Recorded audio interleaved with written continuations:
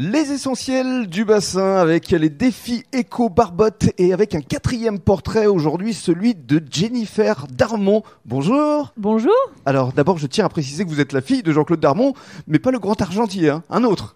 Non, pas du tout. Oui, exactement. Oui, mon papa s'appelle Jean-Claude Darmon. Alors, euh, on va euh, raconter euh, votre histoire parce que vous êtes originaire de la région parisienne, parce que personne n'est parfait.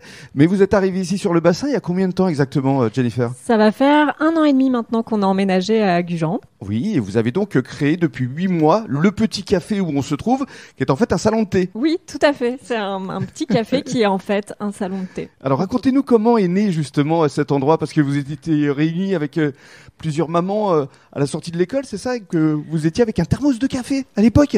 Oui, effectivement, en fait, ça vient vraiment d'un besoin de se réunir euh, entre parents après avoir déposé les enfants à l'école. Comme beaucoup de parents, on avait envie de se retrouver un peu et de discuter entre adultes et on n'avait pas vraiment d'endroit où le faire. Et donc, euh, sous l'initiative d'un des parents, on ramenait le thermos de café, la table pliante et, et, euh, et on le prenait devant l'école. Oui, Donc, mais là il fait un peu frais quand même pour rester à l'extérieur. Et donc comment vous y êtes prise? Parce que le commerce, ça vous connaît, vous étiez à la tête d'une bijouterie à Paris, euh, place de la République. Et euh, là, donc, vous avez d'abord appelé la mairie. Exactement. En fait, euh, dès que l'idée est née dans ma tête, euh, la première chose que j'ai faite, c'est d'appeler la mairie pour savoir quelles étaient les aides qui pouvaient m'apporter, les aides attribuées aux commerçants. Donc, suivant les communes, ça peut déboucher sur des aides justement Mhm. pour l'ouverture d'un commerce, d'un local. On vous a mis en relation notamment avec la structure BA2E. C'est à ce moment-là qu'on m'a mis en, en relation avec BA2E, donc Mhm. l'agence d'aide au développement économique, qui m'a été d'une grande aide justement. notamment pour un budget prévisionnel. Alors, je vous laisse décrire les lieux parce que c'est vrai que c'est très mignon.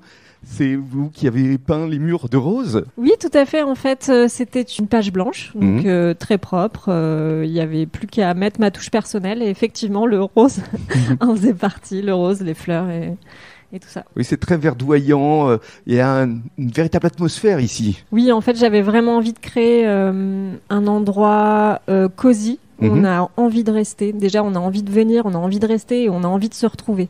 Un endroit qu'on a envie de partager avec des amis et euh, ou de la famille pour un moment de détente et euh, voilà un instant de partage. Alors ici, vous proposez évidemment café, thé, mais aussi euh, milkshake, smoothie euh, ou autre.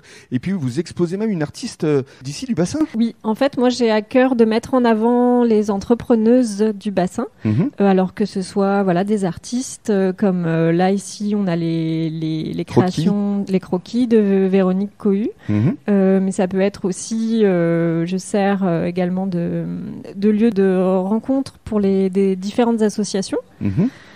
Euh, pour aussi des ateliers euh, d'entrepreneuses euh, diverses et variées. Mhm. Voilà. Public euh, essentiellement féminin quand même ici. hein.